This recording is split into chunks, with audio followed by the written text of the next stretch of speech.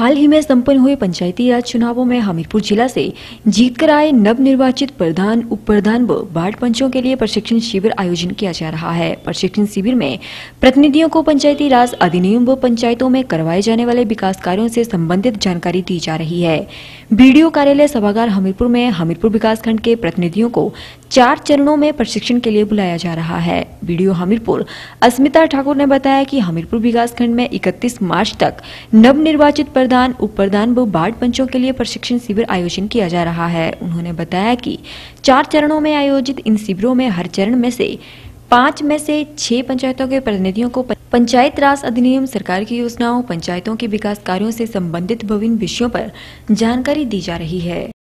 विकासखंड हमीरपुर में जो भी हमारे नवनिर्वाचित पंचायत प्रतिनिधि हैं, प्रधान उप प्रधान वार्ड मेंबर, इनको जो है वो पंचायती राज से संबंधित जो भी हमारे विकास के कार्य रहते हैं, योजनाएँ रहती हैं, और जो पंचायती राज एक्ट है, उससे संबंधित जो है वो प्रशिक्षण दिया जा रहा है।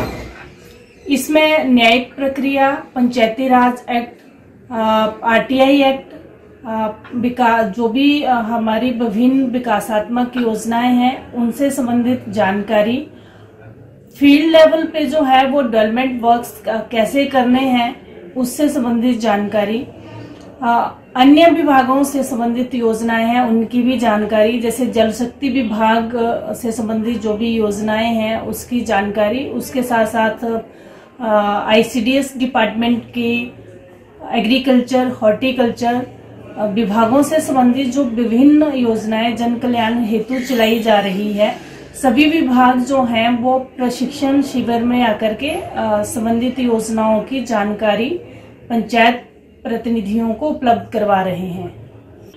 ये ट्रेनिंग जो है, वो चार फेजेस में इसमें होनी है।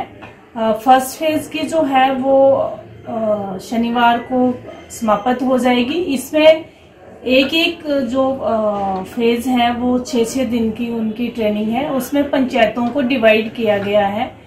जैसे छह या सात सात पंचायतें जो हैं, वो उसमें अलग अलग फ़ेज़ में उनको प्रशिक्षण दिया जा रहा है। तो ये फ़र्स्ट मार्च से शुरू हो गई है और 31 मार्च तक जो है, वो ये चलेगी।